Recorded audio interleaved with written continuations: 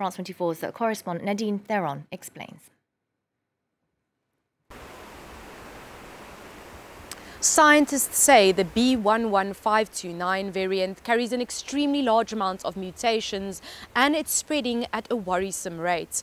This is concerning because a new variant could be more transmissible and more resistant to vaccines and the natural immune system.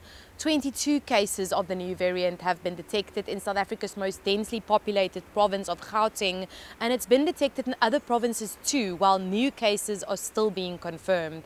Hospitalizations in the country have increased, but it's uncertain whether the new variant causes milder or more severe disease. Three cases have been detected in the neighboring country of Botswana and one in Hong Kong in someone who has traveled to South Africa. Most cases of the new variants are young people under 25, the least vaccinated age category.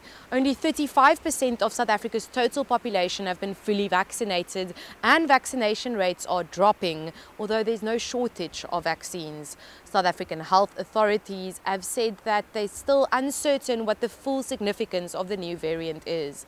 But in the meantime, the government here is considering a tightening of COVID-19 lockdown restrictions ahead of the festive season.